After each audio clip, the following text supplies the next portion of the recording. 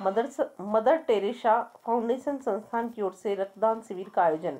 Jodhpur mother Teresa foundation संस्थान, जयपुर की ओर से संस्थापक निशा शर्मा के जन्म दिवस व कैंसर दिवस के उपलक्ष्य में गुरुवार को रक्तदान शिविर का आयोजन किया गया।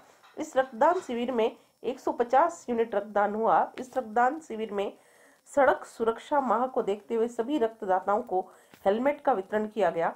इस रक्तदान शिविर में महापौर उत्तर नगर निगम, कुंती देवड़ा पार्षद हाकिम खान मारवाड़, गुलजार अहमद एसीपी नूर मोहम्मद, थानाधिकारी सरदारपुरा हनुमान सिंह, पार्षद पति इलियास मोहम्मद आदि ने विशिष्ट अतिथि के रूप में शिरकत की। इस विशाल रक्तदान शिविर में जोधपुर के कई संस्थानों ने सहयोग दिया, जिसमें फैजान ने अशरफ, युवा committee Idgah, mother Shanti foundation, the last hope foundation संस्थान, सूर्य नगरी वेलफेयर सोसाइटी, टीपू सुल्तान सेवा संस्थान, the royal group Mohammed Ali road विकास समिति, जनता कॉलोनी विकास समिति, हेल्पिंग हैंड संस्थान जोधाना, साफा और ट्रेवल थेरेपी शामिल हैं।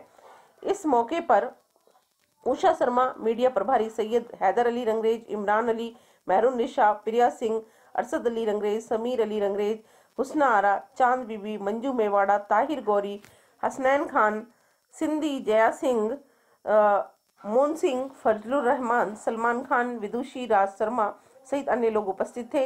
इस मौके पर सैयद हैदर अली रंगने ने सभी का धन्यवाद ज्ञापित किया।